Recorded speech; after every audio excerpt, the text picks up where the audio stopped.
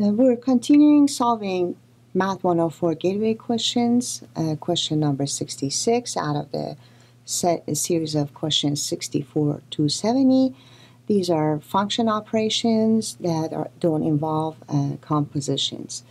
Um, so the the question is find g minus f of x uh, at 4 if f of x is equal to x squared plus 3 and g of x is square root of x minus 3.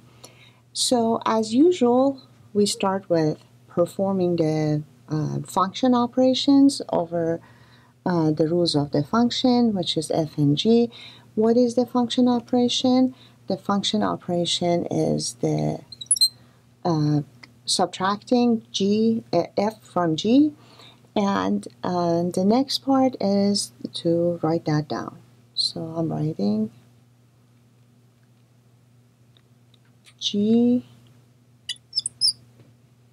just this one, uh, minus F of X is equal to now what is G of X? That's square root of x minus 3 subtract big parentheses and x squared plus 3 is f of x.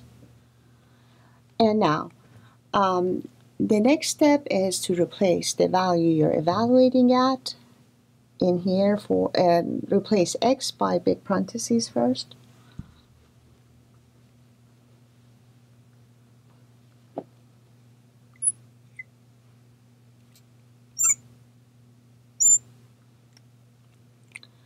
Then um, plug in the value you're evaluating at um, for inside the parentheses, which gives you 4, 4, 4. Very important to have this big parentheses. Um, if you if you uh, don't have the big parentheses, you have to distribute the negative sign into that.